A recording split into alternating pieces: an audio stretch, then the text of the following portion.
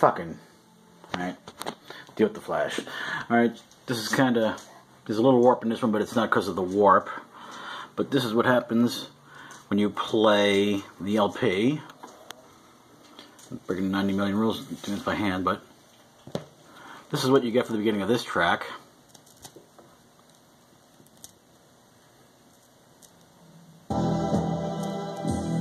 As you can hear, that's where the song starts.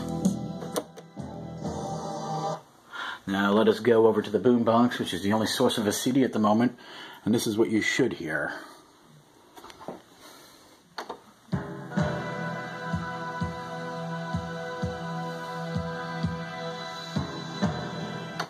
So be warned on the vinyl pressing. I might be a screw up, but I never swapped it out.